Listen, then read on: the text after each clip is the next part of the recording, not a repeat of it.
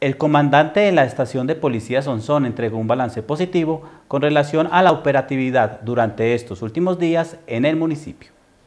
En el reporte entregado por la autoridad policial se encuentra un par de capturas por diferentes delitos.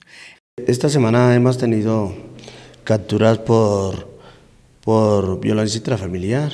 De igual manera hemos tenido eh, capturas por por pequeñas causas se presentó una captura por este paciente.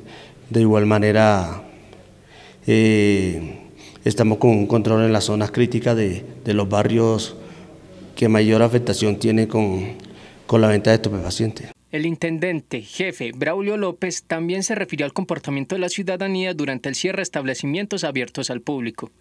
Como tenemos una afluencia de, personal de la policía pendiente a esos sectores de, del comercio o de los establecimientos públicos, hemos, hemos, prevenido que se hagan riñas, que hayan presentado riñas en, este, en estas últimas semanas. Por lo tanto, está controlada la situación.